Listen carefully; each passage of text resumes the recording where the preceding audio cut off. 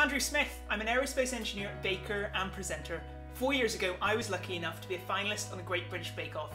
What I discovered is what I call bakineering, whisking up curiosity about our incredible world through edible means, because we can all relate to food.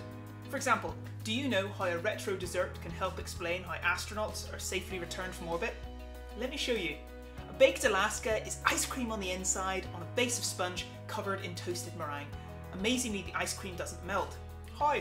It's all to do with air, which makes up 80% of meringue, and air trapped in pockets is an incredible insulator. When astronauts return from orbit, re-entry creates similar kinds of temperatures to my blowtorch. Egg whites make the structure in meringue, silica does the same thing with reusable thermal protection systems, like this one from the Russian Buran.